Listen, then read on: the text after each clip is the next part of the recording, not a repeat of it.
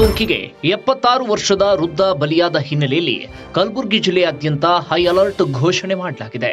ಅಲ್ಲದೆ ಮೃತನ ಕುಟುಂಬಸ್ಥರು ಸೇರಿ ಒಟ್ಟು ಎಪ್ಪತ್ತಾರು ಮಂದಿ ಮೇಲೆ ತೀವ್ರ ನಿಗಾ ವಹಿಸಲಾಗಿದೆ ಅಂತ ತಿಳಿದು ಬಂದಿದೆ. ಇನ್ನು ಮೃತನ ಕುಟುಂಬದ ನಾಲ್ವರನ್ನ ಈಗಾಗಲೇ ತಪಾಸಣೆಗೆ ಒಳಪಡಿಸಿ ಅವರ ಗಂಟಲಿನ ಮಾದರಿಯನ್ನ ಬೆಂಗಳೂರಿಗೆ ರವಾನಿಸಲಾಗಿದೆ. ಆದರೆ ವರದಿ ಇನ್ನೂ ಬಂದಿಲ್ಲ. ಇದಲ್ಲದೆ ಮೃತ ವ್ಯಕ್ತಿ ನೇರವಾಗಿ ಸಂಪರ್ಕ ಹೊಂದಿದ್ದ ಹಾಗೂ ಆತನ ಅಂತ್ಯ ಸಂಸ್ಕಾರಕ್ಕೆ ಆಗಮಿಸಿದ್ದ ಒಟ್ಟು ಎಪ್ಪತ್ತಾರು ಜನರ ಮೇಲೆ ಜಿಲ್ಲಾಡಳಿತ ತೀವ್ರ ನಿಗಾ ವಹಿಸಿದೆ.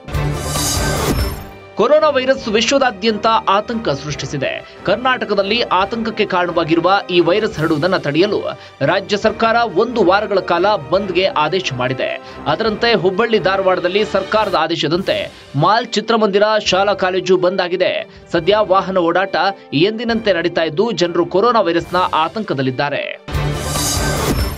ಸತೀಶ್ ಜಾರಕಿಹೊಳಿಗೆ ತಲೆ ಸರಿಯಿಲ್ಲ ಅಂತ ಜಲಸಂಪನ್ಮೂಲ ಸಚಿವ ರಮೇಶ್ ಜಾರಕಿಹೊಳಿ ಹೇಳಿದ್ದಾರೆ. ಕೊಪ್ಪಳ ತಾಲೂಕಿನ ಮುದಿರಾಬಾದ್ನಲ್ಲಿ ಮಾತನಾಡಿದವರು ಸತೀಶ್ ಜಾರಕಿಹೊಳಿಗೆ ದೇವರು ಒಳ್ಳೆಯದು ಮಾಡಲಿ, ಆತನ ಬಗ್ಗೆ ಮಾತನಾಡುವುದು ಬೇಡ ಅಂತ ವ್ಯಂಗ್ಯ ಮಾಡಿದ್ರು. ಒಂದು ವಾರದಲ್ಲಿ ಕೊರೋನಾ ವೈರಸ್ ಹತೋಟಿಗೆ ಬಂದು ರಾಜ್ಯದಲ್ಲಿ ಮೊದಲಿನಂತೆ ವ್ಯಾಪಾರ ವಹಿವಾಟು ನಡೆಯಲಿದ್ದು, ಅನಿವಾರ್ಯವಾಗಿ ಜಾತ್ರೆಗಳನ್ನು ಸ್ಥಗಿತ ಮಾಡಬೇಕಾಗಿದೆ ಅಂತ ತಿಳಿಸಿದ್ರು.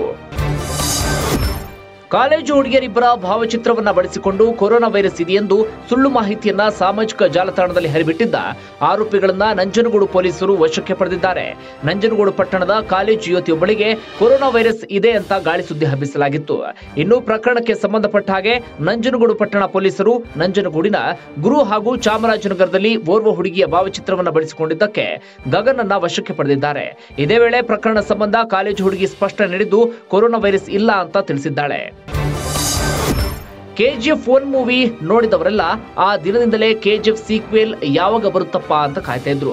ಅದರಲ್ಲೂ ರಾಕಿಂಗ್ ಸ್ಟಾರ್ ಯಶ್ ಫ್ಯಾನ್ಗೆ ಸ್ವಲ್ಪ ಹೆಚ್ಚಿನ ಕಾತರವೇ ಇತ್ತು. ಆದ್ರೀಗ ಆ ಹೆಚ್ಚಿನ ಕಾತರಕ್ಕೆ ಚಿತ್ರತಂಡ ಬ್ರೇಕ್ ಹಾಕಿದ್ದು. KGF two release date announce ಮಾಡಿದೆ.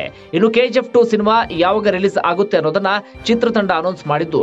ರಾಕಿಂಗ್ ಸ್ಟಾರ್ ಯಶ್ ಕೂಡ ತಮ್ಮ ಇನ್ಸ್ಟಾಗ್ರಾಮ್ನಲ್ಲಿ ಶೇರ್ ಮಾಡಿಕೊಂಡಿದ್ದಾರೆ.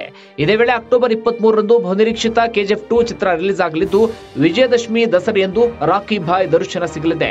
ಸದ್ಯ ಪ್ರಶಾಂತ್ ನಿರ್ದೇಶನದ ಈ ಮೋಸ್ಟ್ ಎಕ್ಸ್ಪೆಕ್ಟೆಡ್ ಸೀಕ್ವೆಲ್ ಸಿನಿಮಾದಲ್ಲಿ ರಾಕಿಂಗ್ ಸ್ಟಾರ್ ಯಶ್ ಬಾಲಿವುಡ್ ಖಳನಾಯಕ ಸಂಜಯ್ ದತ್ ಬಾಲಿವುಡ್ ನಟಿ ರವೀನಾ ಟಂಡನ್ ಪ್ರಮುಖ ಪಾತ್ರದಲ್ಲಿ ಮಿಂಚಿದ್ದಾರೆ. And you're watching. News alert Facebook ಅಲ್ಲಿ ಲೈಕ್ ಮಾಡಿ ಯೂಟ್ಯೂಬ್ ಅಲ್ಲಿ. ಸಬ್ಸ್ಕ್ರೈಬ್ ಮಾಡಿ ಶೇರ್ ಮಾಡಿ ಲೈಕ್ ಮಾಡಿ ಕಮೆಂಟ್ ಮಾಡಿ. ಪ್ಲೇ ಸ್ಟೋರಲ್ಲಿ ನ ಡೌನ್ಲೋಡ್ ಮಾಡಿ. ಎಂಜಾಯ್ ಮಾಡಿ. ಎಲ್ರಿಗೂ ಒಳ್ಳೆಯದಾಗಲಿ ಜೈ ಹಿಂದ್ ಜೈ ಭುವನೇಶ್ವರ್.